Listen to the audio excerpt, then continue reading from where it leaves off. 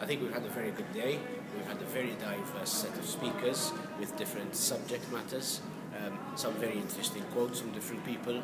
For example, over 780 million collected from VAT at the start of the session. That was quite a staggering number. Moving on to the legal side of things, Dr. Attard spoke about the, the Constitutional Court um, on several occasions and changing the law in favour of the taxpayer, which is always a good thing.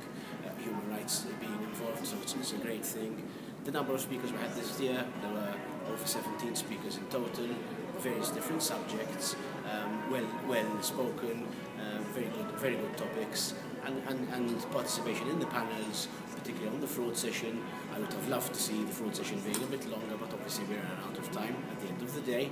Um, very interesting subject, and I'm sure there'll be more on the subject in the near future.